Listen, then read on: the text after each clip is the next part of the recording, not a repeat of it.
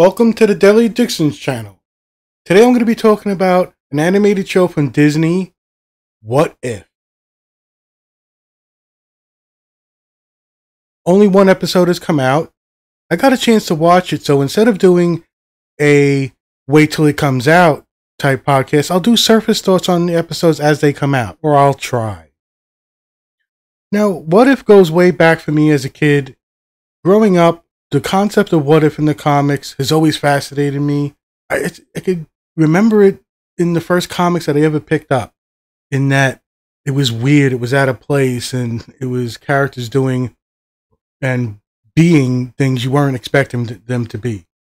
And they always had a little story about where the timeline split and why it's an alternate universe. And it was narrated and started by a being called the Watcher and they're a race of beings, uh, you know, billions of years old who have a non-interference clause, and they just watch. And the theme was he would tell a story of, you know, what happened with the Hulk, what if the Hulk, what if Captain America, so on and so forth with all the heroes. And there are thousands. The DC equivalent would probably be Elseworlds, and they have their own multiversal concepts and um, events. But this is Marvel's What If, and I was um, a little um, hesitant about it. I just fell in love with MODOK and knowing that this came out and I got an opportunity to watch it, I was like, oh, I don't know if I want to. I usually like to wait for everything to be put out and watch it all because doing one episode at a time. But this is perfect for because if I'm correct, each episode will be a standalone story. It'll just be a what if.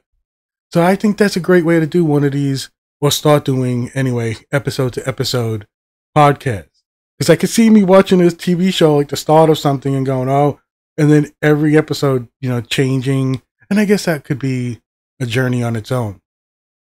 So I don't usually give too many spoilers and plot reveals, but this is centered on Captain America, or should I say, what if?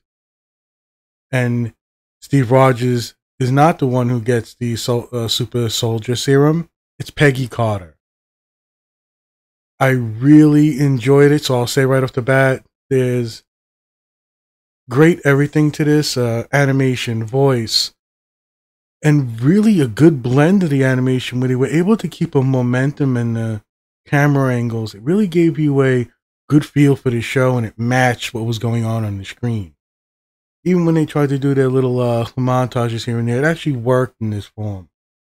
So I'll say that right off the bat. I really liked it. Borderline love it. And one thing annoyed me right off the bat. So I'll get that out of the way. And it's a nitpick annoyance because I'm such a nerd with these comic book stuff. When I heard the narration of The Watcher, I I, I, I like the voice.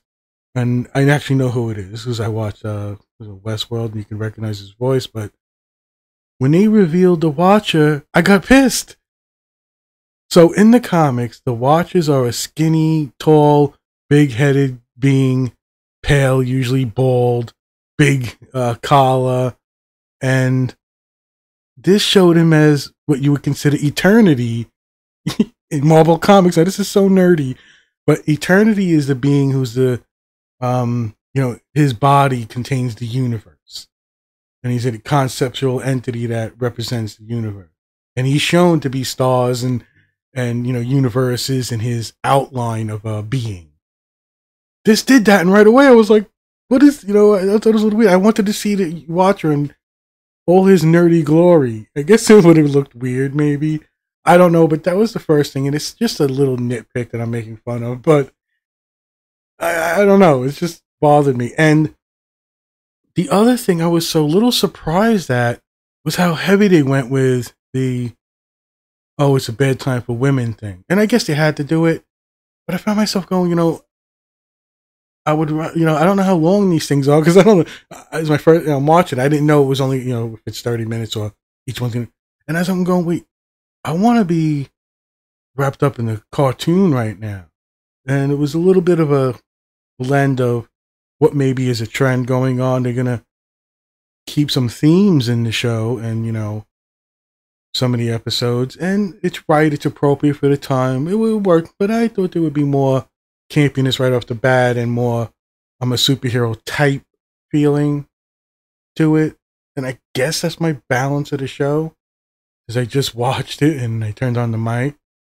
So again, the animation is top notch. I really liked it. I liked the voice acting and the way the movement was on the camera, and it was. Um, I'm trying to think of. I think there was a Batman animated. Well, there's so many, right? There's fucking thousands of them, I think. But there was a Batman animated uh, movie type thing that I really enjoyed the concept of. This gave me that feeling. A little bit of anime, a little bit of what made me love, um, you know, X Men and Batman and Spider Man cartoons is that essence is still there, but they hype it up. Uh, like I said, there's a real feel for the momentum and power. Um, cutting angles for super heroic feats, so to say. Now it stars um basically as the characters Peggy Carter, but since Steve Rogers didn't get it, you do find out that uh, because of a decision that Peggy Carter makes, Steve Rogers is shot and injured, and the equipment is malfunctioning. So there's no one to do the test, so she jumps in and she gets the super sol- soldier serum. So she becomes, but Steve Rogers survives. Now, this was another thing I kind of rolled my eyes at because I knew what they were going to do in a way.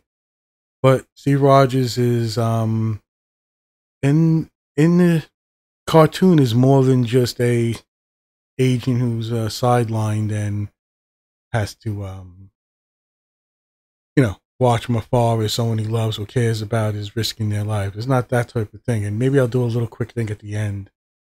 Um and talk about maybe spoilers as they do in this fucking type of thing.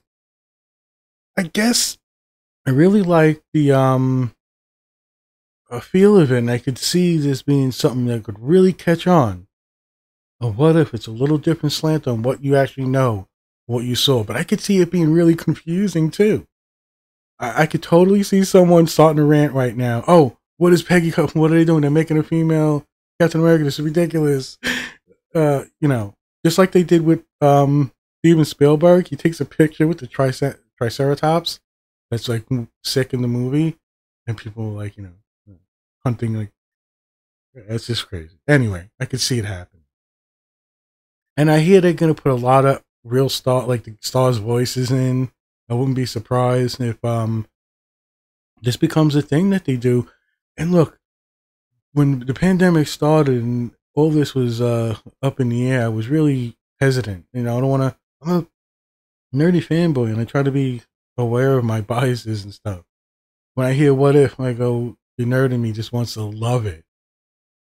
So I guess, like I said, my nitpicks are the Watcher doesn't look like the Watcher, but that's so silly. And I was surprised at the how heavy it was on the female thing right off the bat. So, but it doesn't ruin it. I loved it. Uh, a friend of mine said, you know, he could see this being a whole show. It's a whole animated movie. I could see it also. You Could have put you could have ended this right with the Avengers for me. You could have like, you know, which they kind of do, and uh, I'll talk about that in a second. So, on the whole, I really like it. I'm so interested in it. I'm a little upset about the Watcher, but that's silly. And uh, I guess a theme that I didn't expect him to do so much, but it's appropriate for the time. And I'll get into a little spoiler section now. So I guess this is where I, am not going to fucking do it, but I guess you put up a thing that says spoilers. Well, here's my voice saying spoilers.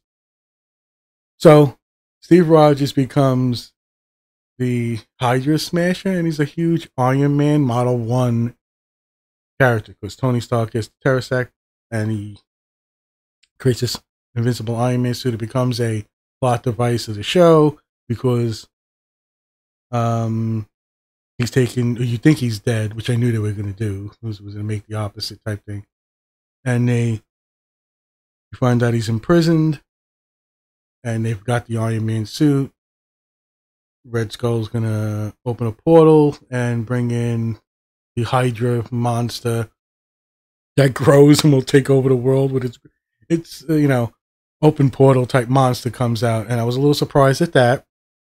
But when you but the journey was pretty good, and of the animation is so good with, like I said, this theming it in, and I kind of liked it. Um, they do the uh, bait and switch a little bit with uh, you know, he's Steve Rogers is dead, but I guess that's really really not much to say in a thirty minute cartoon for spoilers, but it's there and there's a lot to like and what I, am not sure if they have a schedule like do they have a list already of like the next episodes? Because i didn't find one. I mean this is just me like i said i have a moment throw on the mic but it looks like only episode one what if captain carter were the first avenger and it's written by ac bradley i don't know i didn't say this shit from the beginning but um am I supposed to give like some credit here? You know, based on Marvel Comics, directed by Bryan Andrews. Jeffrey Wright is the voice, the main voice. Well, uh, Hayley Atwell. Looks like they got the actors. That's pretty cool. So you're looking at the uh, Hayley Elizabeth Atwell, who plays Peggy Carter, is the voice. Sebastian Stan is Bucky Barnes.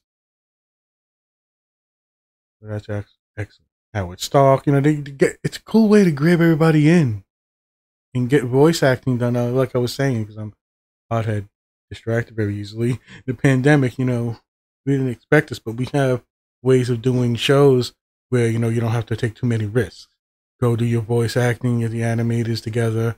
Now this could destroy your fucking show. As I don't think it's destroyed, but there's a whole hoopla going over He-Man and Masters of the Universe. Well, actually, no, it's not He-Man and Masters of the Universe. Any case, I just wanted to do a quick thing. What if Peggy Carter was the first Avenger, the first episode of Marvel's animated show? I really like it, borderline on love it. I have a, couple of nitpicks. I said a couple of those, you know, the major spoiler in it. And, oh, so one of the uh, last spoilers is to stop the creature, she pushes it through with, um, the Hydra smash Smasher armor and it depowers, but she gets sucked into the portal with the creature. At the end, she gets spit out, and 70 years later, so she wasn't frozen in ice. She was just time dilated from the portal from her view when she popped out. You know, minutes might have gone by, and Nick Fury's there waiting for her. Thought that was excellent. You know, kind of primes that. Now I'm wondering about one other thing before I end this. Will they go back? Like, could something be so good, so riveting that they actually go back? So, could you see season two the first Avenger, Peggy Carter, and it continues that story? Like, will they? Because I could see that. Like, you could see this being an engine for ideas. Now, this could be a concept. Recently, you know, like when you think of the movie called uh, what just came out, Suicide Squad. You know, use obscure characters like that type of thing.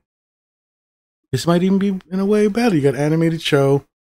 You don't need on, you know, with the pandemic and stuff. You're getting the actors to do it. Why not? It's done the qualities well. We'll see where this goes. So thank you for joining me. I'll try to do this weekly for the show. I don't really normally do this because, you know, I'm a pothead and I, you know, try to, you know, segment my time. But anyway, what if episode one? I really enjoyed it. Check it out. Give it a shot.